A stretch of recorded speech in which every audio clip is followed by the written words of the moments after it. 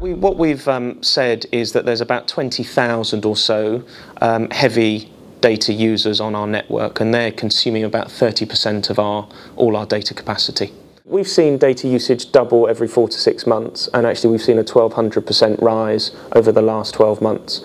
As just as an example, um, a standard YouTube clip is the data network equivalent of 500,000 texts. So it's kind of unsustainable.